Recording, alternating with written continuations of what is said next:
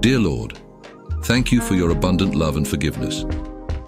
Help us always remember your blessings and love with a thankful heart. May we reflect your love to others, sharing your kindness and grace with the world. Psalm 103. In the name of Jesus. Amen.